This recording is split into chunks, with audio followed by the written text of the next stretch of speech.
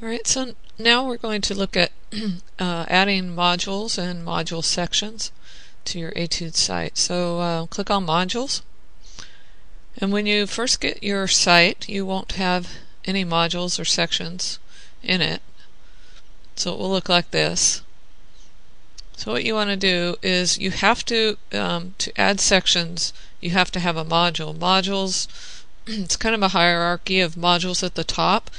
Um, and then mo modules can contain uh, any number of sections and subsections within them.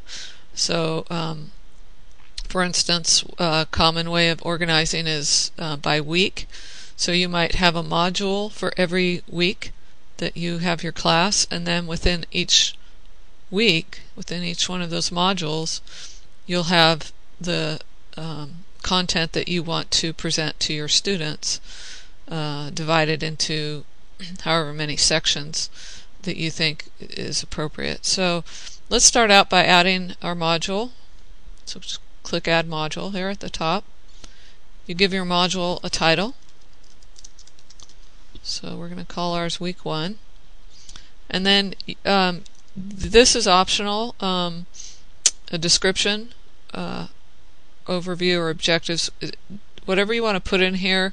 This is just going to be a very short, basic summary of um, what is in this module. So uh, don't make this lengthy. You can't uh, uh, format this in any way. It's just plain text. So um,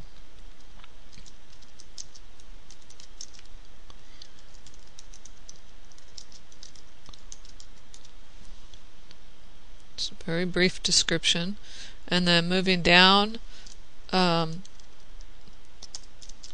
you'll put keywords. These uh, will eventually be searchable.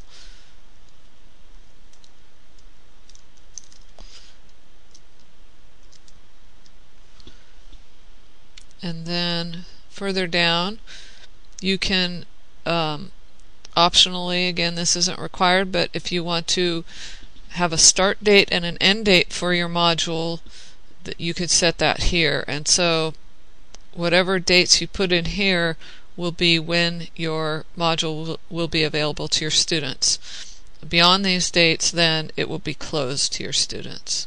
So you could just click the little pop up date picker to choose a date and time.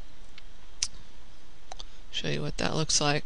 So here's your little date picker. You want to start out by choosing the time. So let's say you open it at 6 a.m and then you just click the date that that module becomes available and the date gets pasted in there. Same with the end date, you would just click it, click on the date picker. Um, so we'll we'll go ahead and do that so, so we can see what that looks like.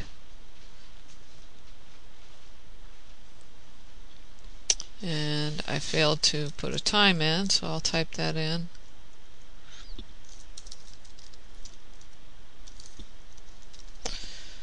And then um, you can, if you want to, put the start and end dates uh, in your schedule. This will automatically place it in your schedule if you're using the schedule tool. So let's click add now. We can go back and see what that looks like.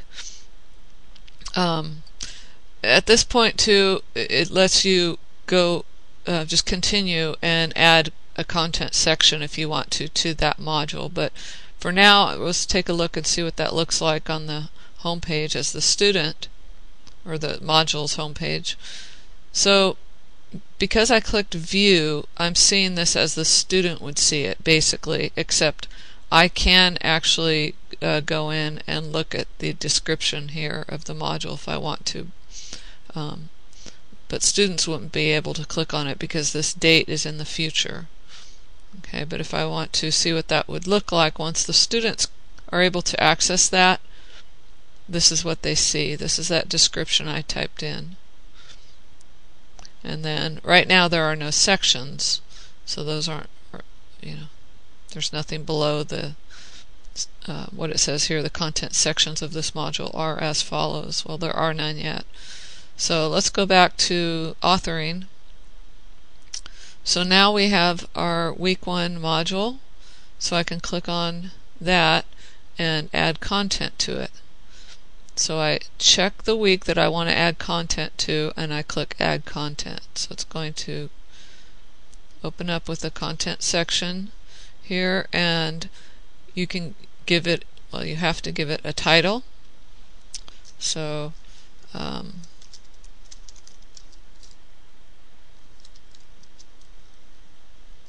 okay, really creative. Uh, and then instructions, this is optional.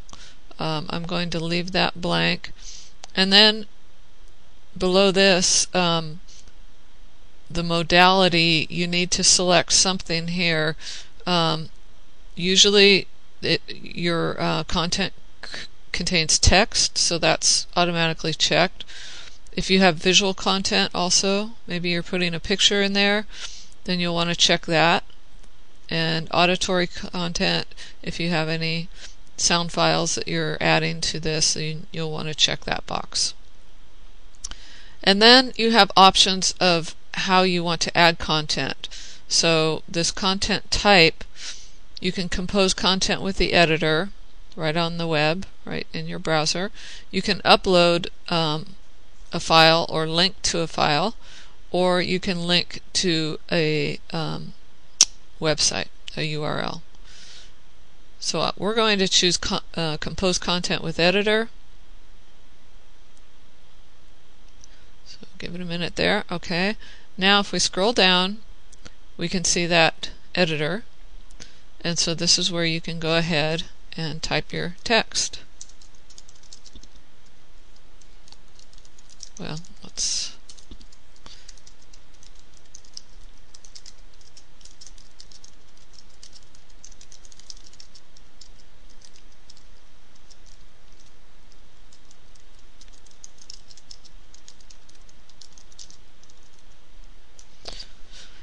Okay, and then um, you can format this however you want. So maybe this you want to make a heading and then this you want to um, oh I don't know. Let's uh, change the text color. So you can see you can do all kinds of things. You can add um, a picture.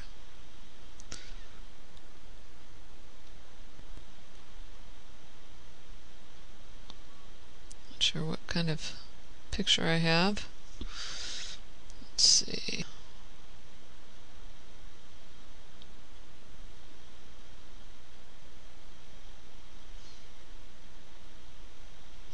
So let me back up. Um, when with this particular editor, this is the FCK editor, um, when you click uh, insert image, this is what you'll see. Uh, and you'll need to, if you're uploading from your computer, you click Browse Server.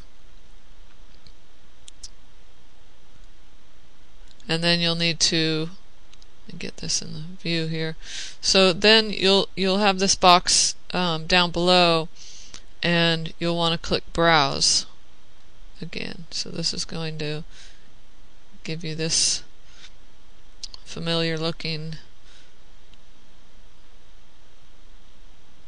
uh, this computer doesn't have any images. Um, let's see.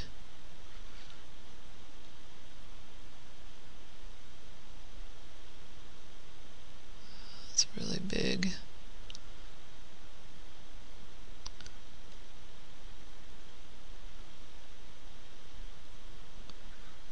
that's the only image I have, so that's going to have to do. And then um, once you've clicked on your image, then you click the upload button over here. And it shows your image it has now been uploaded. And then you just click on that. And then there's your picture. Uh, you can look at it, make sure it's the right picture. You can um, if you know about adding borders, H space, V space, um, and alignment, then you can change those things. Otherwise, it's going to take the default. It shows you over here too. So um, H space is horizontal space. So if you put 20 in there, you notice now there's um, more space here horizontally next to your picture. So those are some things you can play around with as well as alignment. Maybe you want your picture on the right of your text, so you could do that. Um, and then one thing for sure you want to do before you click OK is you'll put um, you need to put alternative text in here. So that way if somebody has their picture turned off or they're using um, a screen reader they can't see the picture in either of those cases. So they'll have to have the text here to tell them what that picture is all about. So put a short description that um, gives them an idea of what the picture is so. And then click OK. And that image is now since I put it on the right I have to scroll. So there's your image. Um, and that's all there is to inserting images. Now um, another thing here I want to show is um, how to put a link so to add links to your um, content you just type the text that you want to become the link. So let's say we're we're making a link to Google. So we type the word Google, then we highlight it, then we click on the insert link and then we're going to type in the URL or we can paste it if we wanted to. So notice you don't need to type HTTP because it's already over here. Um, and then if you want your um, this when people click on it, if you want it to open in a new window, you go to Target and then you change this to new window and we're ready. That's done. We click OK. So now you can't test it here, but once we save this and go back to view, um, we can test all of this. So let's go down to the bottom and look at some of the options here. Um, you um, you have options for copyright status. So how do you want to uh, define the copyright for this uh, section? Okay, you can make it public domain, Creative Commons, any of these. Okay, so let's say we want to choose uh, Creative Commons. You get options with Creative Commons licensing. Um, so I'm going to accept the defaults here. License holder is me. License year is 2011. And then I just click Done.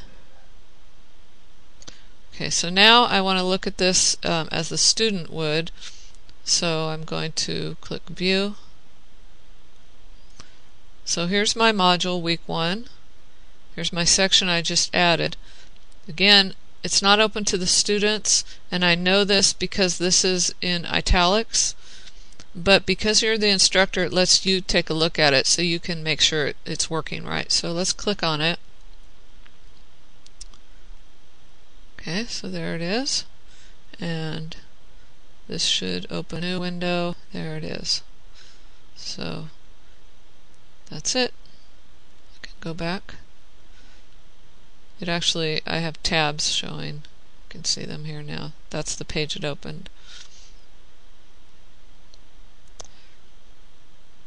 So that's it.